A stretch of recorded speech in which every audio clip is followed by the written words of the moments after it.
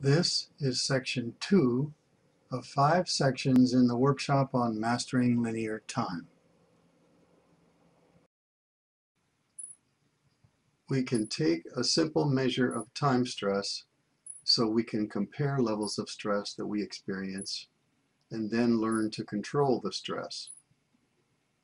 On a scale from 0 to 10, where 0 is the least and 10 is the most, how much stress do you feel about time right now?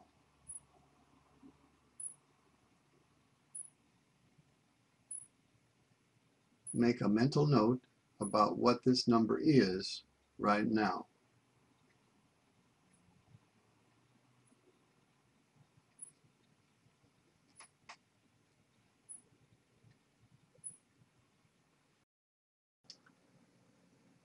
The gradual process of developing and strengthening the sense of time passing can be expressed in terms of three primary human energy centers.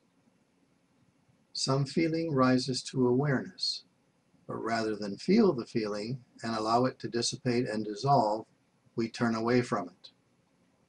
The feeling is repressed or suppressed, and we lose a measure of confidence as well as a bit of the natural fulfillment that accompanies being fully involved in our energies. The energy of the heart is lessened and we feel somewhat pressured. Excess energy flows to the head and a sense of detached self-consciousness intensifies as our thinking skips about the separate past, present, and future rooms in our experience. Energy in the area of the throat, which is closely associated with time, becomes agitated as we become anxious and more aware of time passing. We feel a bit more helpless. Time becomes more threatening, a greater enemy. Thereafter, there is a more dissatisfied sense of self trying to seek satisfaction through various objects and activities.